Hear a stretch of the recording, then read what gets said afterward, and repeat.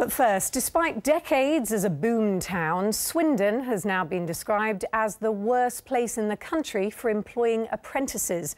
The town's main college is pleading with businesses to take on students who train on the job because many can't get into university. The government has stepped in too with some cash rewards. Scott Ellis reports.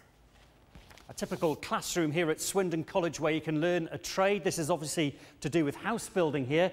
And there's no shortage of facilities here. There's no shortage of students wanting to learn. The problem is a shortage of employers willing to take on apprentices so they can learn a trade. This hair salon does take on apprentices. They work hands-on four days a week here and spend the fifth day back at Swindon College. So there's money, training and a job. But with a shortage of apprenticeships, not everyone's as lucky as these students. There isn't enough out there. There's not a lot of jobs taken on apprentices in all the different companies around. There's just nothing out there at the moment. We need more companies to employ them as apprentices. Swindon's lacking at least 300 apprentice places, so the town's striking a government backed deal with firms. On offer is £1,000 per apprentice and a chance to try out a student for a month.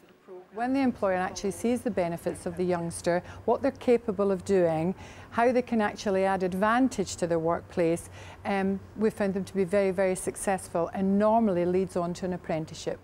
They hope it works, overcoming fears by managers that an apprentice can be an extra cost. At the salon, they've always seen them as an investment.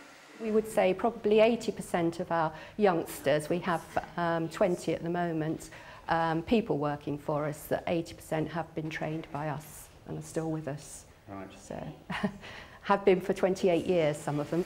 Without more apprenticeships, there are fears of what's been called a lost generation, heading out of school now into a world of fewer university places and a tougher jobs market.